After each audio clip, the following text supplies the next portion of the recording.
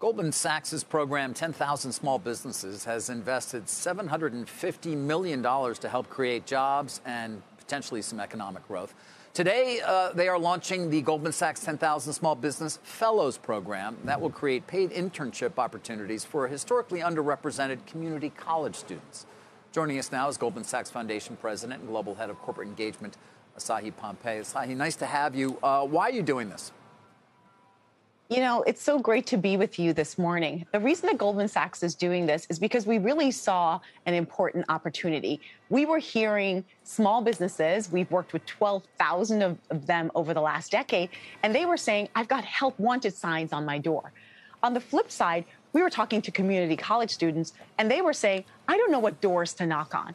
So Goldman Sachs has decided today to really step into this space by providing paid internships for community college students to work in small businesses. We're really giving them a front row seat as to what it's like to be an entrepreneur in this country.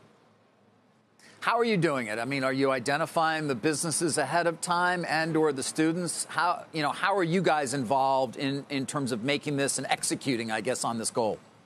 Absolutely. So we've worked with this network of 12,000 small businesses over the last decade, representing all 50 states. So we've gone to that pool of 10,000 small business graduates. Uh, we're launching in four cities in New York, in Baltimore, in Dallas, and in Cleveland.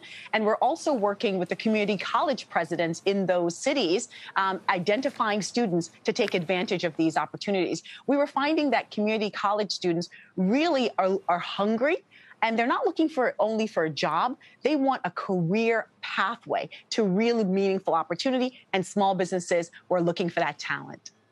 Hmm. Of course, Goldman is, is no stranger to helping uh, uh, students of all kinds find their career path. I wonder, though, if it's ever happened in a labor market quite like this one that is so strong. And I, I mean, are your targets, are your expectations for the program different this time? You know, it is a new program. And so you're absolutely right. This is a labor market like no other. When you talk to small businesses, they say, look, I've had to pivot more than a soccer team at the World Cup in the last 18 months in order to maintain and grow my business. And as we're talking to community college students, they're saying, I want paid internships and I want meaningful opportunity. And so this is really a labor market like no other. They're really looking for those career launching opportunities. And I think all of us can probably hearken back to that first internship that kind of set us on our way. And that's what Goldman Sachs is about creating through our 10,000 Small Businesses Fellows program. So, how will you measure success?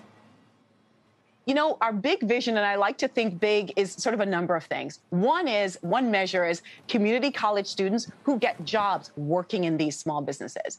We've already heard from a number of community college students that they may want to start their own business. That's certainly another measure of success.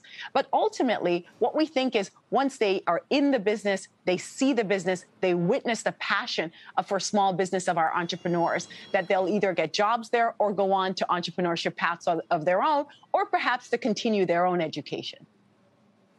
All right. Uh, Asahi promised me these will be in person, no remote internships. I don't think those work very well. Mm.